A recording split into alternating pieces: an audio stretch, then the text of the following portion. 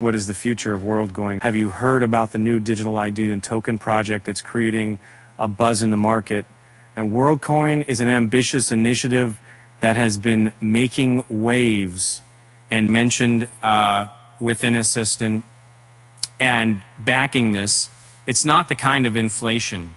It's not the kind of inflation, but asking the backing modern business use posts uh, an early investor.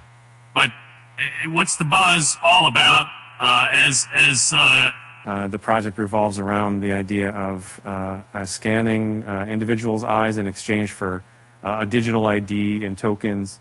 now, that may sound a bit futuristic, but it's the distribution of tokens that has caught people's attention. tokens are spread over two years, with 10% available immediately via the Orbs wallet app.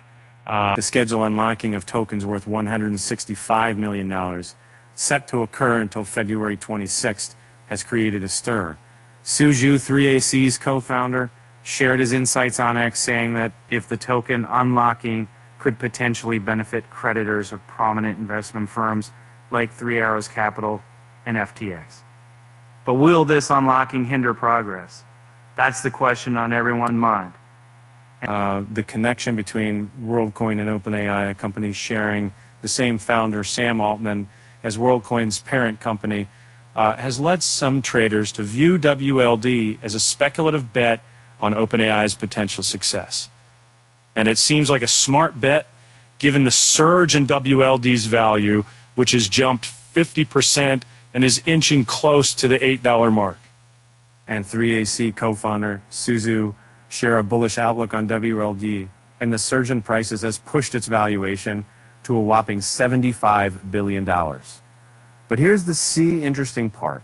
The surge coincides with the planned release of 10 billion WLD tokens over 15 years, with initial allocations subject to a one-year lockup period.